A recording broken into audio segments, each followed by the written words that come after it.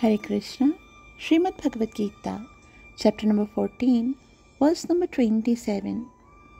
Brahmano hi pratisthaham amritasya vyayasya cha शाश्वतस्य च धर्मस्य सुखस्यैकान्तिकस्य च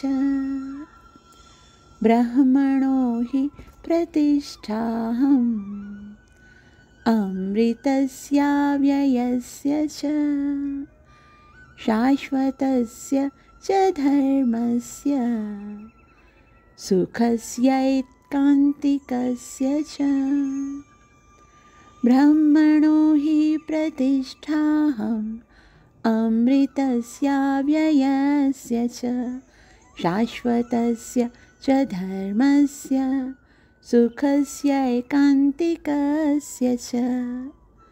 अनुवाद, और मैं ही उस निराकार ब्रह्म का आश्रय हूँ, जो अमर्थ्य अविनाशी तथा शाश्वत है और चरम सुख का स्वाभाविक पद है।